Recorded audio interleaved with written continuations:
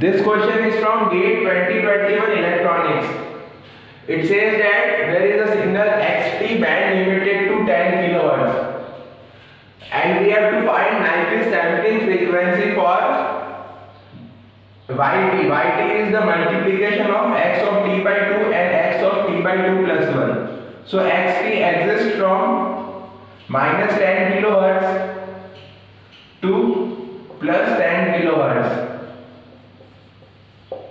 Now we have to see only the frequency calculations. So x of t by 2 will exist from when we do time scaling. Then the frequency will also be scaled. So x of t by 2 will exist from minus 5 kilohertz to 5 kilohertz. And this plus 1 term does not have any effect on the frequency. So x of t by 2 plus 1 will also exist from minus 5 kilohertz to 5 kilohertz only. So when we multiply these two in time domain, so multiplication in time domain will simply result in convolution in frequency domain.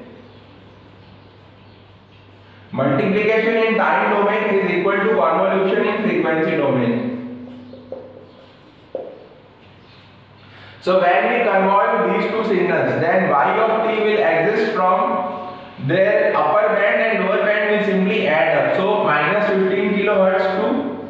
15 kilohertz.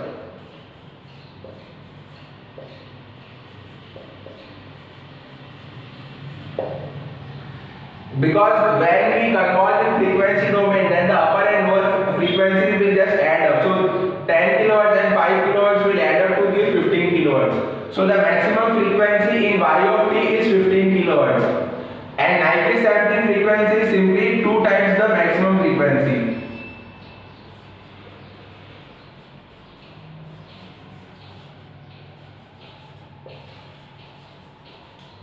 So Nyquist sampling frequency will be equal to 2 into the maximum frequency which is 15. So the Nyquist sampling frequency will be 30 kilohertz.